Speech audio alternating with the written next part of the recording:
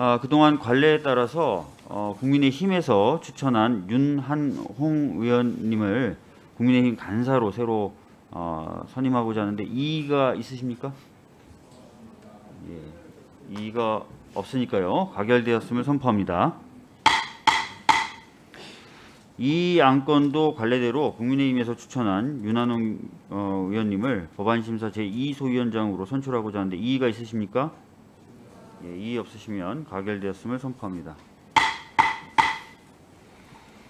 아 그러면 김도욱 간사님과 윤한홍 간사님 두 분의 인사 말씀을 좀 들어 안 하실 거예요? 정- 정책위 의장으로 가시는 게 너무 좋으셔서 없으신가? 예, 알겠습니다. 그러면 예, 그러면 윤한홍 간사님 인사 말씀 해주시기 바랍니다. 네, 어, 먼저 감사하다는 말씀드리고 그 동안에 우리 네, 법사위 운영하면서 고생 많이 해주신 김도 우리 어, 의장님께도 감사의 말씀을 드립니다. 그리고 우리 위원님 존경하는 우리 법사위원님들 뜻을 잘 받들어서 우리 법사위원회 에, 잘 운영될 수 있도록 어, 최선을 다하도록 하겠습니다. 에, 많이 도와주시기 바랍니다. 고맙습니다.